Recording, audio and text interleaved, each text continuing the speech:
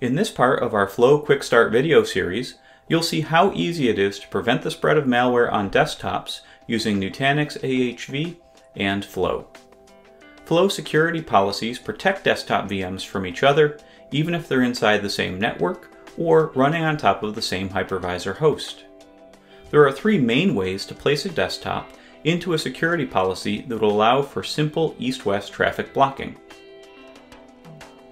In the first method, we use identity-based security and VDI policies to automatically secure VMs based on the AD group of the logged in user. Second, we can manually categorize VMs and use an application security policy if Active Directory groups aren't available or desired. Third, if you're using Frame, you can auto-categorize VMs at creation time and protect them with an application policy. Regardless of which option you choose, you'll use an intra-tier block to stop the spread of east-west traffic between desktops. This is similar to an isolated private VLAN, where endpoints can talk externally, but not to each other.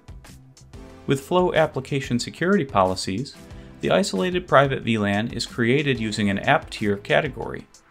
Desktops in this app tier can have inbound and outbound connectivity, but no connectivity with each other. Let's look at each of these three methods with example desktops. The first method for protecting desktops is to use the VDI identity-based security policy, which integrates with Active Directory. So we program an Active Directory account and server into Prism Central, and then configure a number of domain controllers that we get login notification events from. And now, after we have configured those servers, we map the desired Active Directory groups, such as marketing, sales, engineering, and HR, to categories in Prism Central. And these categories are used by the security policy. So if we look at our security policies, there is now a VDI security policy, and there can be only one single VDI policy. And we have all of those Active Directory groups mapped here to these categories, which are tiers of the policy.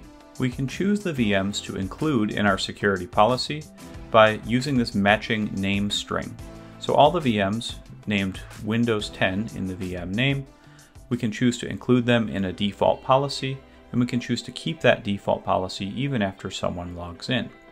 So these seven VMs here in AD Group Default will have access from the VPN pool and from Active Directory, as well, to, uh, as, well as also to Active Directory.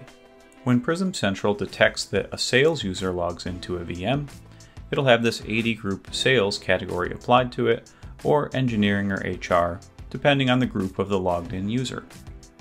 To prevent the spread of malware, we block the sales VMs from talking to each other, so even VMs inside the same AD group will be blocked from communicating with one another, as well as block communication between groups. The second method for protecting desktops is to use a manual application security policy. We would use this if for some reason we didn't have access to Active Directory or didn't want to use Active Directory groups. You can see that we use the same sort of structure where we block communication within a tier and we still allow communication in from VPN pools and Active Directory, except now we're using app type and app tier categories instead of AD group categories. And these categories are applied to the virtual machines. So here this VM, Eng01, is a desktop virtual machine that's part of engineering. So if we look at that virtual machine, we see that it has a number of categories applied to it. So the manual applied categories of application type department and application tier engineering are what makes that an engineering VM. And if we wanted to make it a sales virtual machine, we would just change the app tier category manually, and then it would be part of the sales group. Inside of our security policy, we can see that change reflected because now there's a sales virtual machine instead of engineering. The third method of protecting desktops uses manual application policies but Frame auto-categorization.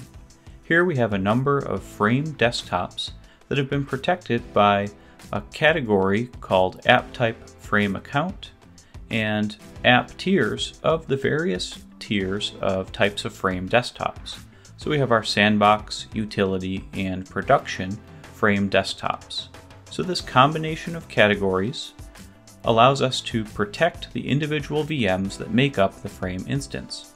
So here we have a few production frame virtual machines and uh, we can look at the security policy in more detail and see that for those production VMs, we can stop frame production VMs from talking to each other using that same policy construct. If we save this policy, we can go look at those virtual machines that are provisioned by Frame, and right when the VM is created, these categories are automatically applied. So as long as that security policy exists, the application type of the frame account and the application tier of production, these VMs will be protected as soon as they're turned on. Nutanix Flow helps you stop the spread of malware between desktops, whether you're using Citrix or Frame. And it even allows you to apply dynamic security policies to the desktops based on the Active Directory group of the logged in users. To find out more detail, like the Active Directory configuration used in this example, visit the Flow documentation linked in the description. Thanks for watching.